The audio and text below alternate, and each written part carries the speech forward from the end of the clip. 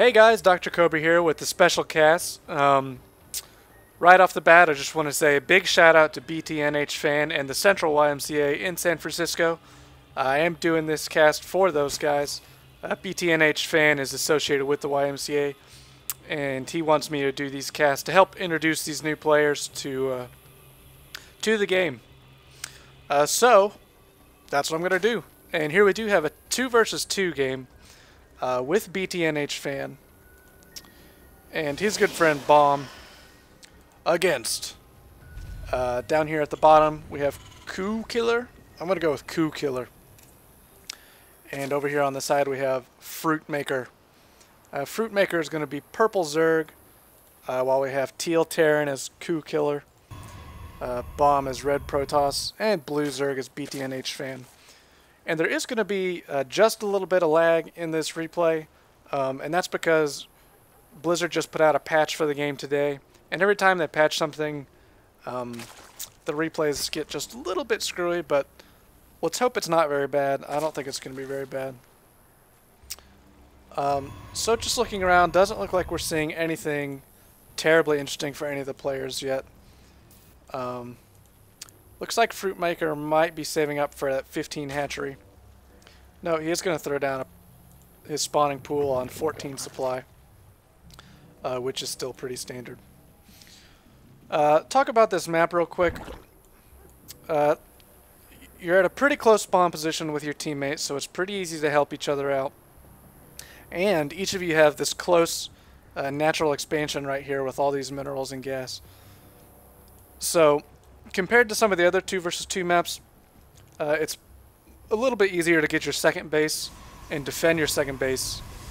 I mean, once you get two bases in that strong economy, it's just way easier to fill the large, field the large army.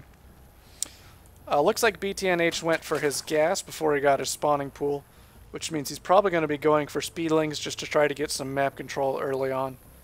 Uh, a pretty good decision.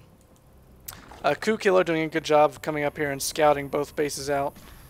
Um, and it looks like Bomb has done the same down here and scouted both bases. Yeah, he did see pretty much everything.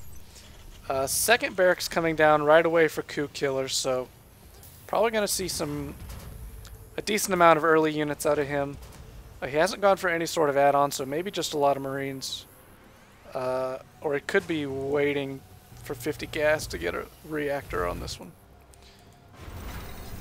Um, Coup Killer doing a pretty good job right now, taking both of these uh, Xel'Naga watchtowers in the middle. And that's going to give him vision of any units coming across the middle there. So it's going to be pretty tough right now for Bomb and BTNH Fan uh, to do any sort of real surprise attack here. Excuse me. Uh, looks like BTNH Fan is getting out quite a few Zerglings with some more on the way. And he does have a Baneling nest.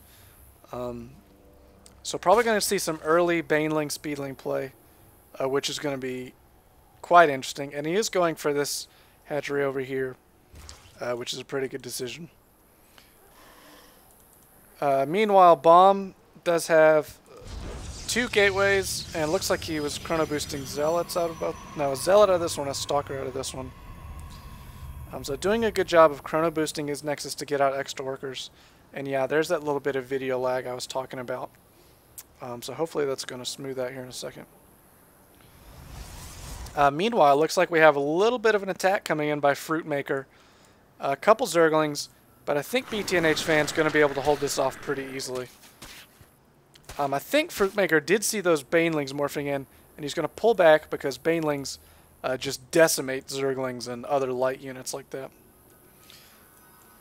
And so, as a response, um, Fruitmaker, I'm not sure what he was building right here. Probably his own Baneling's nest. Uh, but since he saw those Banelings, he's going to react by throwing down this Roach Warren.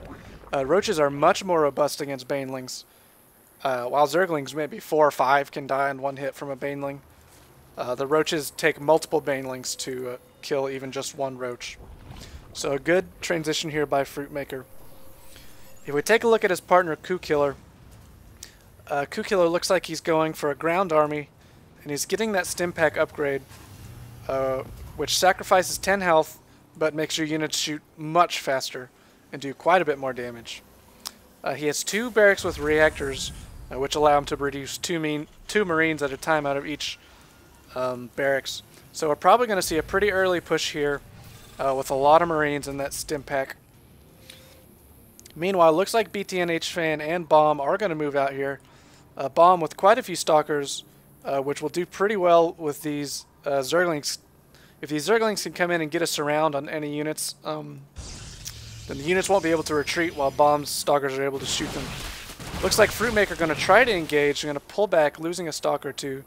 He does have quite a few Roaches out, and the Roaches will do pretty well against this army composition.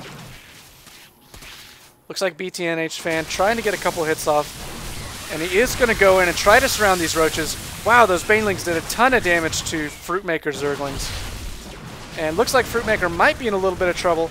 But here comes Coup Killer from behind, picking off the reinforcements. This Queen and these roaches are doing quite a good job of helping to hold this off. And it looks like with the reinforcements from Coup Killer, uh, everything is going to go down for BTNH Fan and Bomb. Uh, so, good reaction time by Coup Killer uh, coming over here to help his teammate. And I think really what made the difference right there was Fruitmaker made a change to roaches, so he was able to kill off those banelings uh, much better than if he didn't have them. Uh, so now that Coup Killer and Fruitmaker are pretty confident that they killed off their opponent's army, they are going to try a counterattack. And looks like BTNH Fan is prepared for this, getting out quite a few roaches as we speak, uh, getting a couple banelings and a couple more zerglings on the way. Uh, Bomb is a little bit low on units, so he's going to get out a couple cannons, which are static defense things, to help them survive this attack. Uh, Bomb sees those and pulls back a little bit. Uh, I mean, Fruitmaker does. There's a stim pack by Coup Killer. Uh, going in there, looks like he's going to try to take out these cannons.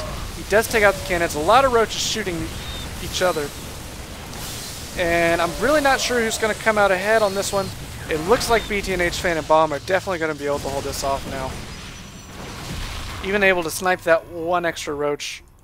Uh, these stalkers are faster than the roaches, so they can catch up here and kill another roach or two. Oh, what is this queen doing out here? This queen is so slow off of creep. I've got to imagine that was just um, a misclick, and that queen needlessly goes down. Uh, and so now if we look back at the base, Fruitmaker only has one queen. He's going to have to rebuild that one so that's going to slow down his unit production quite a bit. Uh, looks like BTNH fan and Bomb going to try to push out here again. Um, note they have had these expansions up for a little while, uh, while only one out of the two players on the bottom has an expansion.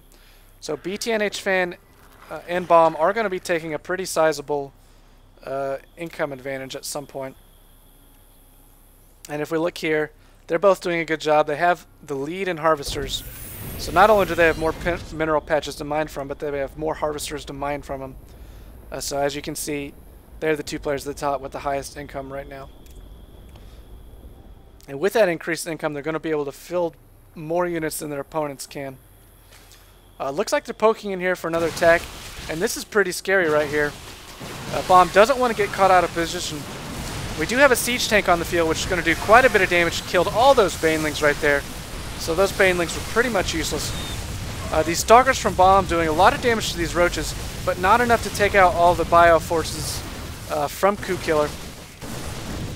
Coup Killer is able to stim up a couple times and chase down some Stalkers, uh, but at what cost, as you can remember, Stimpak does take away health from your units, so all of these units are very injured right now.